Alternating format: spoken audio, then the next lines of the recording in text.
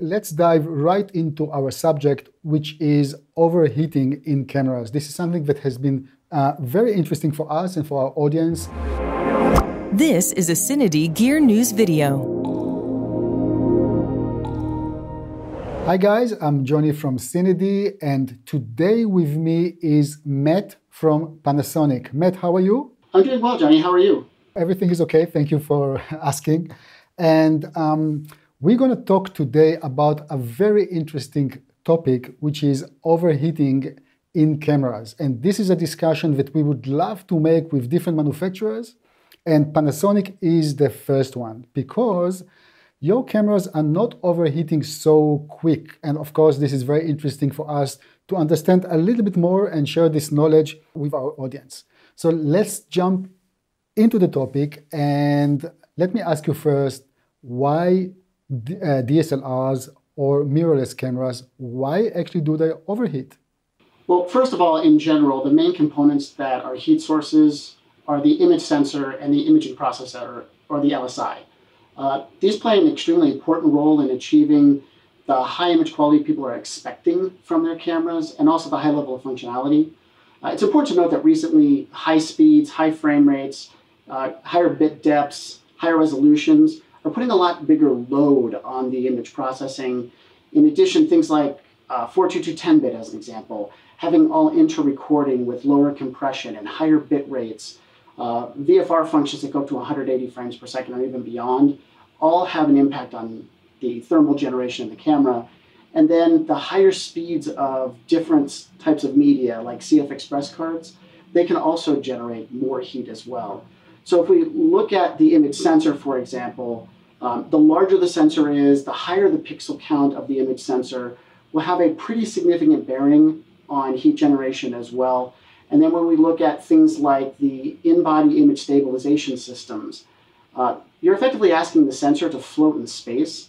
And because of that, it also has um, an impact on how well we can dissipate the heat in the sensor. So besides um, safety issues, what can actually happen to the camera uh, internally when it overheats, um, or to the even the recorded media? Can can the, the file can be damaged or anything? Yeah. So when we first look at um, what can happen with thermal issues, number one, we want to look at the fact that uh, you can have image quality degradation. So um, it's it's apparent and easily proven that as thermal temperatures rise, you begin to see noise across the sensor. But you can also experience things like dark shading in the image, um, which can cause problems as well. And then long term, we have components inside the camera that can break down and eventually fail. You know, whether it's the LSI or if it's system components, um, things that are processing the audio signal, all of those items have the ability to be broken down and damaged. But it also extends to the camera's battery. Um, constant discharging and charging of a battery at very high temperatures, frankly, it reduces the lifespan of that battery as well. And then to your question, can it cause a problem to the memory card? I think the bigger issue is if there's a catastrophic failure in the camera because it overheats without ending the file.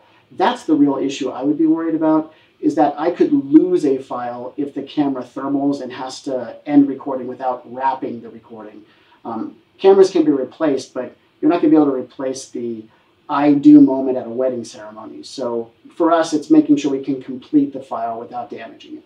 You already uh, mentioned what can stress the camera when it comes to overheating, and that's you know different codecs, resolutions, frame rates, and so on. But how about internal RAW recording? This is a question that I've been asking myself for quite some time because uh, when you're recording RAW, I'm not so sure how much processing in terms of encoding is happening. I think it's kind of a misconception, right? Because the assumption is that you have to um, process a raw image and then encode it into a codec before you write it. And so the encoding process takes up, you know, en- engine cycles, and then we're writing that information as well. And so the theory would hold that it should generate more heat. But you also have to keep in mind that if we're writing in RAW, we're actually putting an increased demand on the components that have to write those much larger files. So it's sort of a, a give or take, really. We're giving you less processing that's required to compress the image file, but then we're taking away that efficiency by increasing the data rate that we're having to send that information into your recording media. So it's really a six and one and a half dozen of the other situation in that regard. So different manufacturers are trying to uh, combat this overheating or actually cooling the camera in different ways. Some have uh, yeah. special bodies, heat sinks, uh, fans, and so on. Can you elaborate a little bit about the different techniques? Well, with Panasonic, we try to use a, an holistic approach to how we um, deal with thermal issues. So it's always going to start with how do we get the heat from the most critical components, um, those components being the engine and the sensor primarily. So um, obviously the best way to do this is to try to mount that device directly to a heat sink of some type. Um, maybe use a piece of copper and then apply some thermal grease that's very efficient at bonding that heat to the copper, and then allow that copper to come in contact with aluminum to pull it into the atmosphere. Um, we also do some really in-depth modeling of our cameras using finite element analysis to determine where that heat is going and to figure out ways to bolster the design of the chassis of the camera to pull that heat out away from those critical components and get them out into the atmosphere where they won't cause any damage to the camera. Um, it's interesting, I've heard some people sometimes say when they touch a camera, if it's warm, that must be a bad thing. Uh, in fact, it's the exact opposite. If you touch a camera and it's warm to the touch, that means the heat's getting out of the camera and it's getting into the atmosphere and away from those critical components. Um, and then in certain extreme situations, like with the S1H or the BGH1, um, because we are putting such a processor heavy load on those cameras, um, obviously in the case of the S1H, the full frame sensor, in the case of the BGH1, adding things like uh, um, Genlock generation and SDI, which it adds thermal process, it adds processing load. Um, we've added a fan system to be able to cool it down. And again, even there's a balancing act because we have to design a fan that's quiet and can move that air while simultaneously keeping the chassis cool enough to be useful. Thank you for that. And I have to um, move into the next question, which is as, as professionals, you know, we, we are working in different conditions, different assignments. Uh, different uh, environments and so on. So the working field is always changing.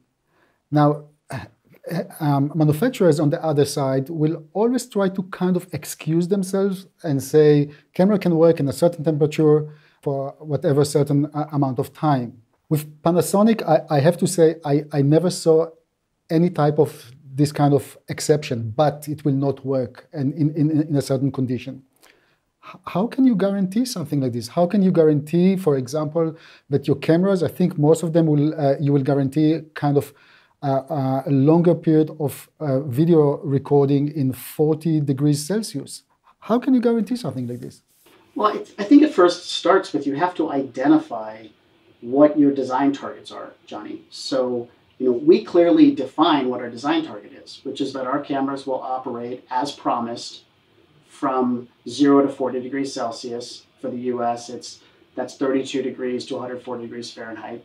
Um, cameras like the S1A, certain GH models, they'll go a little bit further in the freezing temperatures, like negative 10 Celsius, which is 14 degrees Fahrenheit. Um, you first have to define what your operating range is. And then you're going to design the camera to that operating range, and then you're not going to make compromises in your design principles.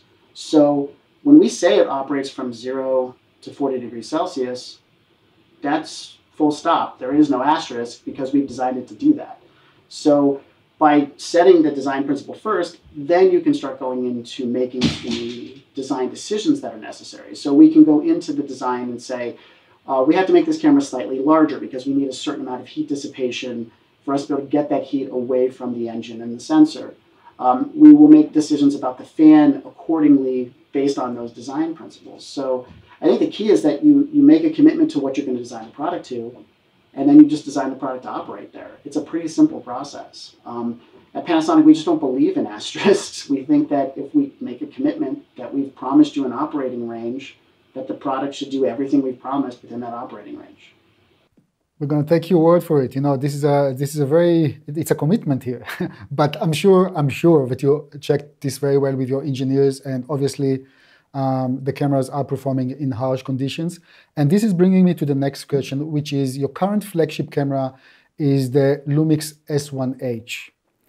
Uh, how would you differentiate that camera from the competitors? when it comes uh, into working when you compare it to working in uh, really harsh conditions? Well, I think if I'm completely honest with you, I can't locate another cinema camera that is going to produce the image quality of the S1H that can operate from uh, 14 degrees to 104 degrees Fahrenheit that is dust resistant, splash resistant, and freeze resistant. And so I think it sort of lives without peer. It's the most ruggedized design cinema camera that you can currently purchase. That would be our uh, opinion of the S1H. And if I take the new the new camera, the, the S5, the Lumix S5, with that camera, you actually decided to limit the recording time to 30 minutes.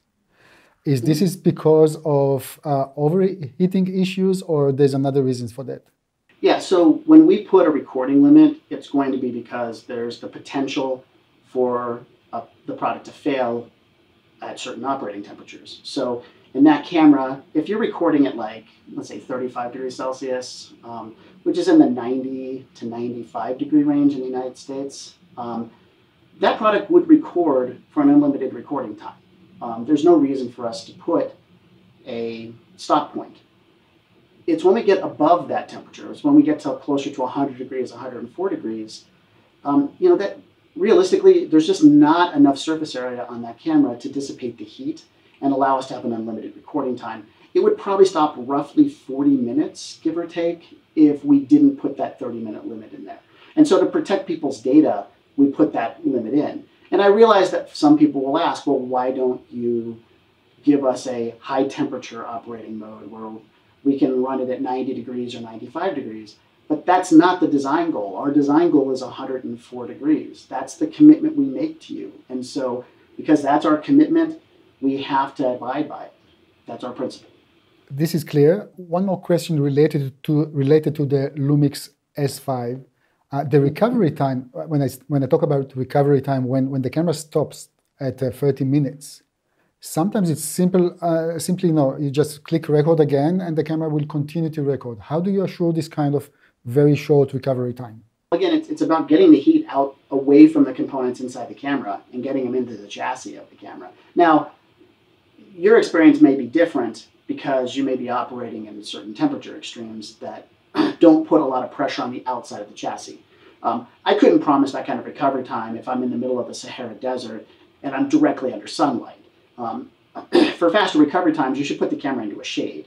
Uh, I, I was one time shooting the S5, it was 100 degrees outside, and I was under direct sunlight, and I got, you know, the, the camera ended up shutting down about 30 minutes in. Um, I ended up just bringing it to the house really quick. I just put it over by an air conditioning vent, and five minutes later, I got another, you know, 30, 40 minutes recording out of the camera easily. I the key here is that you have to understand the environment around the camera. If the environment around the camera isn't direct sunlight and it's 90 degrees-ish, um, which is like 30 to 35 degrees Celsius, um, the camera will have enough um, surface area to be able to dissipate its heat to get itself back to where it needs to be. It's in the extreme temperature conditions where you might have to make some compromises, put it in the shade, or put it near something cooler. Matt, we are talking here about overheating issues. Um, and my question is Is there any industry standard, actually something that uh, put things into place? And if yes, is Panasonic following that standard, or how about other manufacturers? Yeah, absolutely. There are two standards that we're working toward.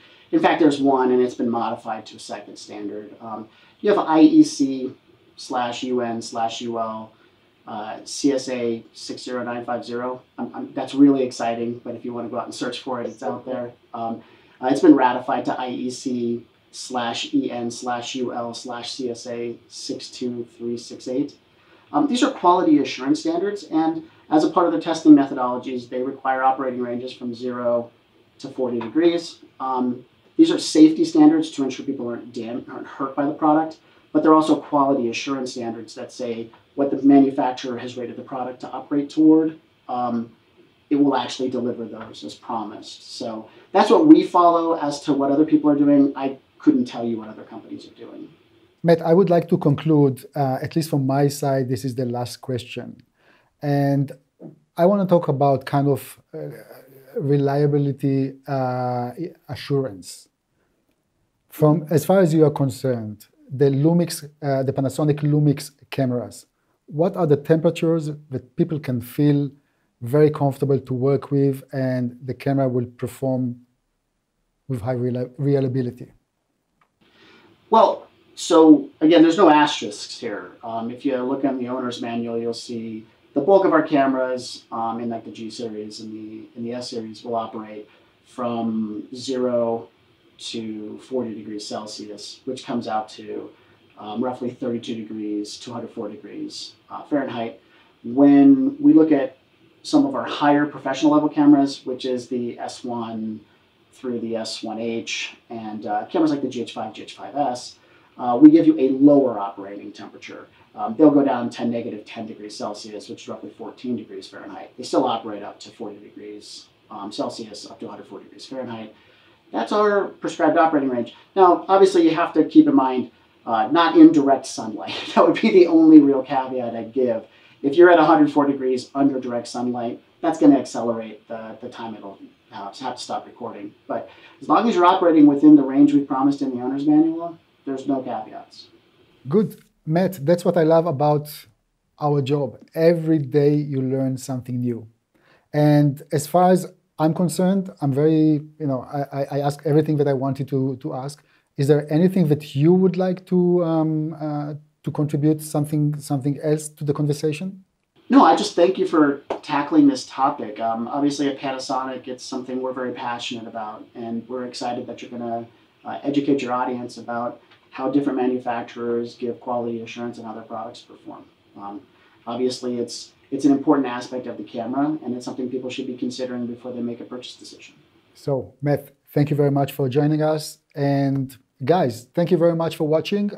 Uh, if you like this type of conversation about overheating, and if you would like us to continue with a mini series and talk to other manufacturers about that exact topic, please let us know in the comments below. And of course, please don't forget to subscribe to our YouTube channel.